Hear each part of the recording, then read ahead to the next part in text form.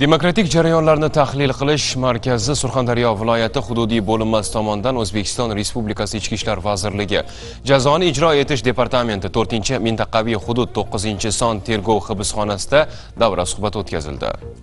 Saylov kodeksida insonparvarlik genlarining ustunligi saylovchilar huquq va manfaatlari mavzusida tashkil etilgan tadbir oliy majlis qonunchilik palatasining inson huquqlari bo'yicha surxondaryo viloyatidagi hududiy vakili. Surxondaryo viloyat hududiy saylov komissiyasi bilan hamkorlikda tashkil etildi. Ma'lumki, shu yilning 27 oktyabr sanasida mamlakatimizda muhim siyosiy jarayon, ya'ni Oliy Majlis Qonunchilik palatasi va xalq deputatlari shahar tuman kengashlariga saylov jarayonlari bo'lib o'tadi. Bu jarayonlarda yurtdoshlarimizning ishtirokini ta'minlash va ularning saylovga oid bilim va huquqiy savodxonligini oshirish uchun joylarda qator tadbirlar tashkil etilmoqda.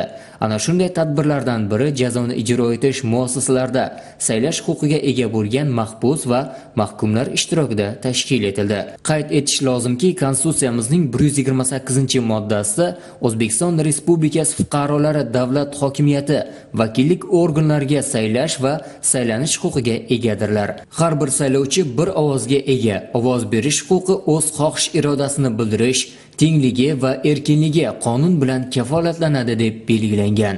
Tadbirda fuqarolarning bu huquqlarini ro'yobga chiqarish uchun so'nggi yillarda saylovga oid qonunchilikni xalqaro standartlarga mos ravishda takomillashtirishga alohida e'tibor qaratilib, ozodlikdan mahrum etilgan mahkumlarga ovoz berish imkoniyati yaratilganligi ta'kidlandi. Bugun demokratik jarayonlarni tahlil qilish markazi surxondaryo viloyati hududiy bo'linmasi viloyat ombudsman e, tashkiloti e, hamda adliya boshqarmasi xodimlari bilan birgalikda to'qqizinchi son tergov hibsxonasida tashkil etilgan uchastka hamda saylovchilar bilan uchrashuv tashkil etdik. Uchrashuvdan asosiy maqsad o'zbekiston respublikasi saylov kodeksida inson huquqlarini ustuvorligi insonparvarlik g'oyalarini ustunligi hamda saylovchilarni huquq va manfaatlari mavzusida uchrashuv tashkil etilgandi. Ma'lumotlarga ko'ra bu yilgi saylov jarayonlarida viloyatdan 1 million 669 mingdan ortiq saylovchilar ishtirok etishi kutilmoqda. Tashkil etilgan targ'ibot tadbiri davomida ham mas'ullar ovoz kuchaytirish moslamasi orqali kameralarda saqlanayotgan shaxslarga ularning saylovlarda ishtirok etish huquqlari tushuntirildi.